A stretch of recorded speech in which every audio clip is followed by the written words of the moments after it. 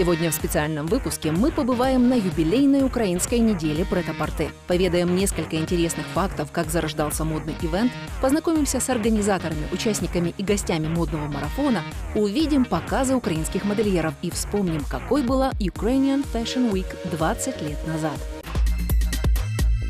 В 2017 году Украинская неделя моды отмечает свое 20-летие. Самая первая украинская неделя прет-а-порте прошла в ноябре 1997 и называлась «Сезоны моды».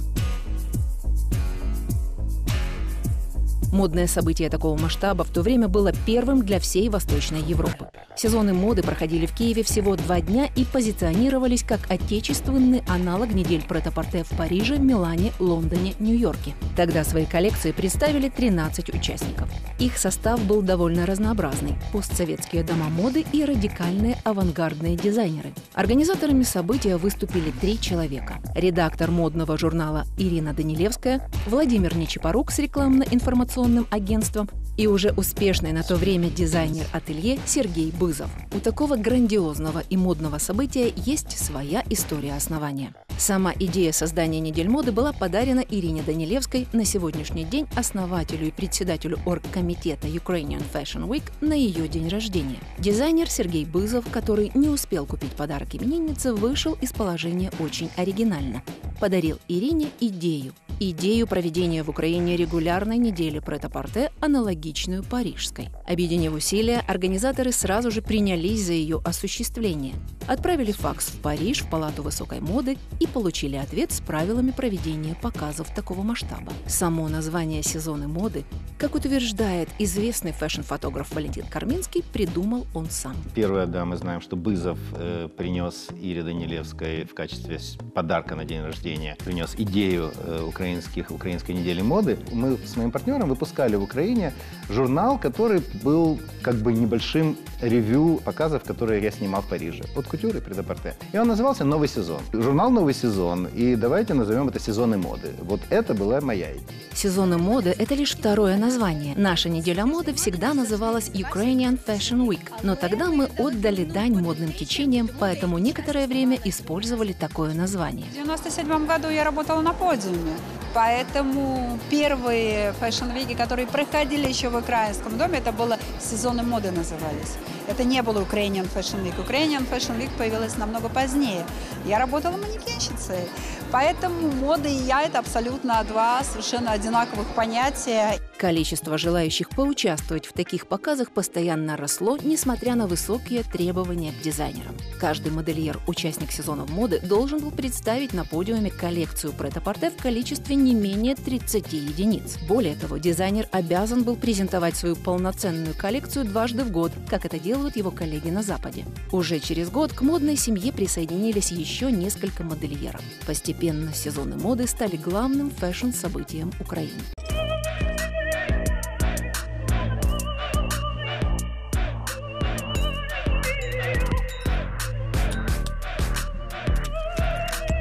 За 20-летнюю историю Ukrainian Fashion Week менял места проведения семь раз. Первые показы проходили в камерной атмосфере с небольшим количеством прессы и гостей. Модное мероприятие не предполагало широкого круга зрителей. И попасть на него можно было лишь только по пригласительным. Начиналось все в Крымской кинасе. Начиналось все в доме актера Ярославом Валу. И тогда участвовали 13 дизайнеров, которые поверили, что в Украине можно провести неделю моды, потому что до этого проводились только конкурсы и фестивали и моду воспринимали больше как шоу, нежели потенциальный fashion-бизнес. Потенциальный фэшн-бизнес. Было, было все очень интересно в маленьком зале, хорошая атмосфера. Э, люди не боялись, а экспериментировали, искали. Конечно, было не так много публики, как сегодня, но тем не менее. Украинская мода не имеет такой богатой истории, как французская или итальянская. Эти законодатели fashion прошли свое становление еще несколько веков назад – Но с уверенностью можно сказать о наличии креативности, таланта и амбициозных стремлений украинских модельеров, что привело к развитию модной индустрии за такой короткий промежуток времени. Все эти 20 лет украинская мода росла и развивалась. Дизайнеры искали свой стиль, почерк и свою аудиторию. Когда я как раз начала работать в шоу-бизнесе, это стало для меня очень актуально. А, и тогда я ходила на показы наших украинских дизайнеров. А, и, честно говоря, а, такие неоднозначные вызывали эмоции, коллекции, э, тогдашние коллекции дизайнеров. А Они мне казались вообще неносибельными, очень артистичными, а, либо театральными, ну какими угодно, но я бы не надела это э, на каждый день. Сейчас мне хочется надеть практически все из э, тех дизайнеров, которым я симпатизирую. Вы помните, у Залевского было платье, а, значит, когда такая юбка, и там были бутылки. Ну, когда ты пойдешь в таком платье? Ты появишься один раз в клипе, и то. А кто из женщин купит такое платье? Никто. Или какой-то сумасшедший, например, с перьями что Это, опять же, только для съемок, ну, не знаю, в шоу-бизнесе. Да, много стало прагматичнее.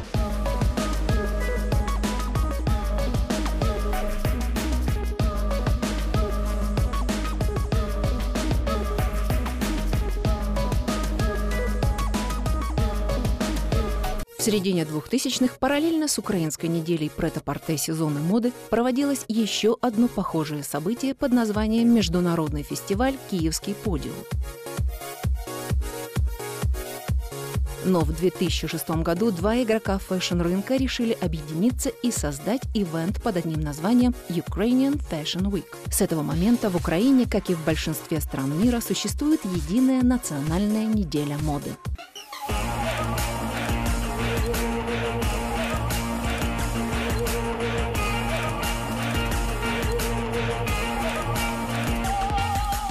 В 2011 году организаторы Украинской недели моды нашли окончательную и идеальную для себя локацию – восстановленный Мыстецкий арсенал. Именно эта площадка стала настоящим сердцем украинского искусства и моды. Безусловно, во-первых, сменилась локация, да, Арсенал как бы соответствует той концепции, которую бренд Ukrainian Fashion Week сейчас э, транслирует. А, Это потрясающее место, оно позволяет дизайнеру показать все в самом лучшем виде, получить э, идеальную картинку.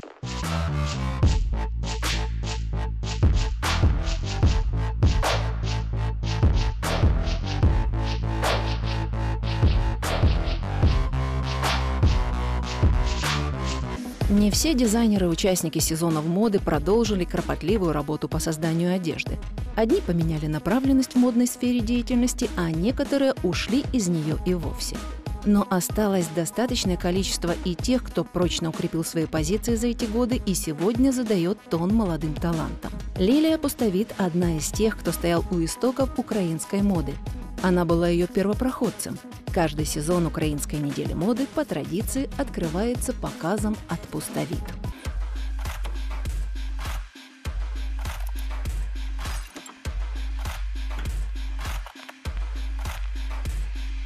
Лилия Пустовит действительно, она традиционно открывает все недели моды Она открыла своим показом. Я точно знаю, що мій приклад Я точно знаю, что мой пример пробивать стены и идти на пролом – хороший пример для молодых украинских дизайнеров, которых сейчас очень много. е, молодих дизайнерів, яких зараз дуже багато. Я мала можливість спостерігати за її трансформацією, скільки У меня была возможность наблюдать за ее трансформацией, поскольку я была благодарным клиентом Лилии. Я тогда работала в юридическом бизнесе. Я считаю, что Лилия всегда была трендсеттером. И есть вещи, как классические, так и меняющиеся. Но для меня важно, что Лилия – один из наиболее успешных трендов, который продается на экспортных рынках. И продается достаточно системно. У нее определенная стратегия, свое видение, как на эти рынки выходить и как себя там позиционировать. як себе в них позиціонувати.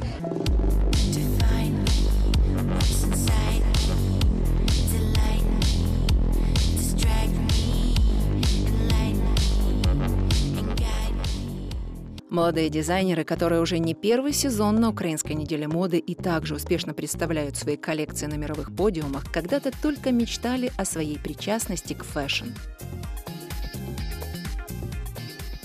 Мне казалось, что я прикоснулась к чему-то особенному, когда побывала на показе. Потом я мечтала, ехала в метро, снимала кеды, надевала э, каблучки. Это было после института. И мечтала кое-как вот так пробраться на показ Андре Тана. Вот, ну, хотя бы краешком глаза вот так выглянуть.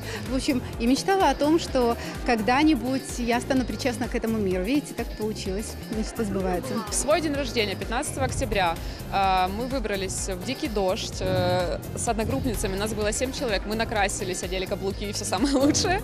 Э, поехали на Ukrainian Fashion Week. И, честно, мы клянчили билеты у каких-то людей на входе. Нас пропустили двух, меня и мою подругу. Я зашла внутрь и фотографировалась с Андретаном. Да. Так что это был мой первый сезон. Это такая вот история, когда я еще была студенткой, и мне казалось это чем-то недоступным, чем-то замечательным, мечта. Тогда это была сезонной моды, мне было 16 лет, и мне казалось, что это просто нечто такое, до чего я не достану никогда. Но мне всегда хотелось, я стремилась, работала, и вот она, я тут. Ukrainian Fashion Week постоянно ищет молодые таланты и поддерживает их при помощи платформ «Новые имена», Fresh Fashion и конкурса «Погляду майбутнє», которые проходят в рамках события Украинской недели прет-а-порте. Также под эгидой Ukrainian Fashion Week проходят и другие проекты, такие как Holiday Fashion Week, показы круизных коллекций, которые проводятся каждое лето в Одессе, Best Fashion Awards, ежегодная премия, оценивающая достижения в сфере украинской моды и другие. Мне кажется, что очень важно вовремя начать э, и поучаствовать в конкурсе «Погляд майбутнее», который организовывается каждый год Ukrainian Fashion Week. Это такое своеобразное portfolio review, где ты можешь показать свои работы модным инсайдерам, получить э, какую-то оценку этих работ, и потом вот этот последовательный путь от конкурса до New Generation Day, а потом уже в большой подиум. Безумовно, Безусловно, молодые украинские дизайнеры – это наше будущее, свежая кровь, то, без чего не может жить ни одна fashion-индустрия. И Ukrainian Fashion Week уделяет этому особое внимание. Дуже велику увагу. Я делала показы на отдельных локациях и нащупывала свой ДНК бренда, нащупывала себя. И потом на одну из моих презентаций пришла Ира Данилевская говорит, Катя, я хочу, чтобы ты появилась на основном подиуме. Ты готова? Я сказала, да, это очень ответственно, но я согласна. И получается, в следующий сезон, два года назад, я зашла на Юхово. Я сегодня подсчитала, это мой 12-й э, Ukrainian Fashion Week, поэтому где-то я и молодой дизайнер, где-то я уже и опытный дизайнер. А, но задача стоит в том, чтобы постоянно развиваться, да, ни разу не пропускать э, ни один сезон, и каждый, каждая неделя моды, каждая коллекция должна быть лучше предыдущей.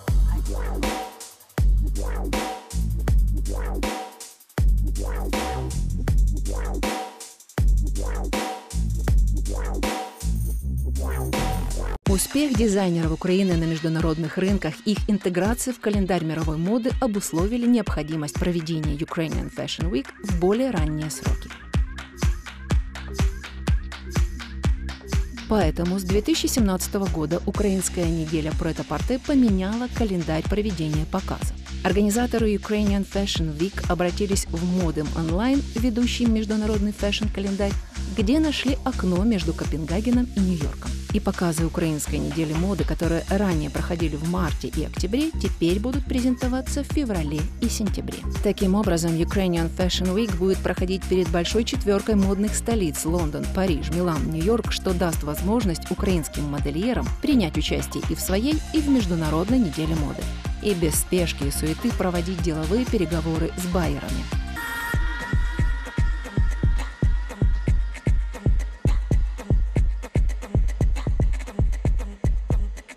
За время своего существования Ukrainian Fashion Week достиг полного соответствия европейскому формату проведения модных недель и появился в мировых фэшн-графиках, прочно занимая свою нишу на международной модной карте. Я была приглашена на Лондон Fashion Week в прошлом году. Ничем, ничем не отличается очень, очень похожая такая тусовка. Я очень даже порадовалась, потому что Лондон это одна из таких э, fashion-столиц, и мы на уровне абсолютно, абсолютно. Площадки, подиумы, модели. Ну, я заметила, что все растет и по организации, и по уровню дизайнеров. И вы знаете, я езжу по всему миру, и многие люди удивляются и радуются тому, что в Украине есть fashion.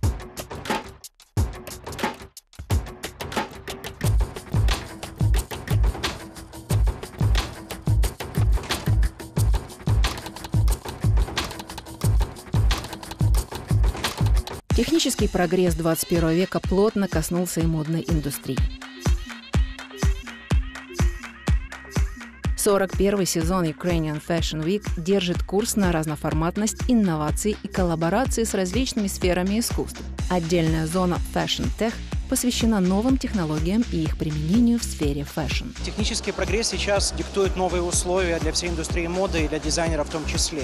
И есть громадное количество инструментов и технологий, которые дизайнеры уже сейчас могут использовать в своей работе и, соответственно, делать все проекты более эффективными, результативными и удобными, создавать новые материалы, создавать какие-то новые вещи, лучше продавать в интернет-каналах, примеру, сканировать в 3D товары, выкладывать их на сайт, где их можно просто одним пальцем просто передвигать, и оно будет кружиться в 3D, вы можете видеть все детали каких-то вещей. Уже 20 лет платформа Ukrainian Fashion Week развивает модную индустрию в Украине, объединяет и направляет украинскую моду, помогает дизайнерам реализовывать их талант и показывать результаты их творчества не только Украине, но и всему миру.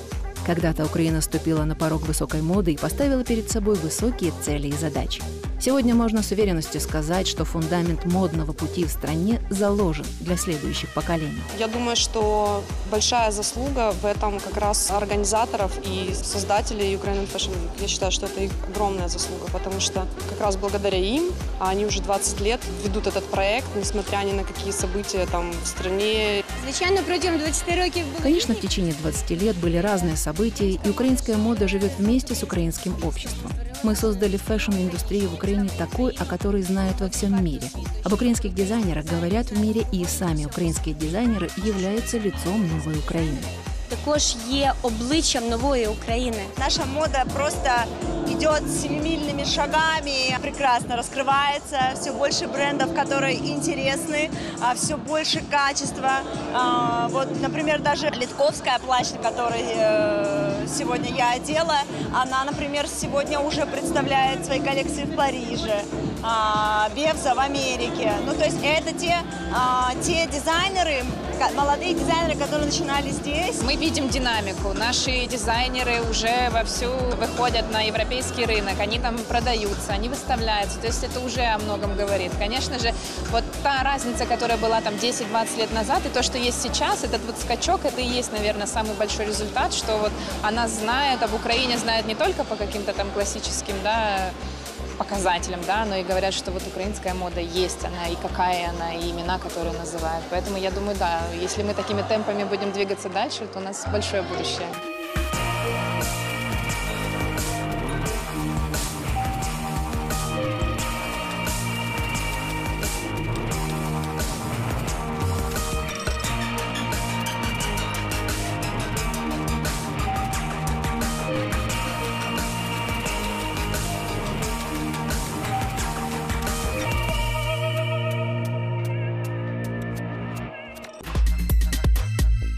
Модная индустрия в Украине не стоит на месте. Она идет в ногу со временем и развивается. В следующих выпусках мы продолжим знакомить вас с украинской модой. Еще больше об украинском fashion. Еще больше модных советов, интервью с топовыми дизайнерами страны, закулисье украинской модной индустрии и многое другое. Ровно через неделю на телеканале UATV «Миру о модной Украине» в программе «GLOSS». Будьте модными!